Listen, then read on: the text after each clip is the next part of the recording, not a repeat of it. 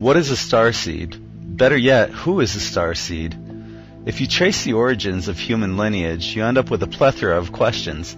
For example, if we were to believe the Bible's origins of mankind and assume that we came from Adam and Eve, then that assumption wouldn't explain the genetic differences in our population. Continuing with the Bible's story, we are led to believe that Noah and his family were the only survivors of the Great Flood, which means we are allegedly all descendants of Noah and his family. Are we to assume that Noah brought aboard two of every ethnicity as well? That's highly unlikely. Zecharia Sitchin believes our DNA was genetically manipulated, which remains a possibility, but why would the Anunnaki create various ethnicities instead of one slave race? That leads us to another more feasible possibility.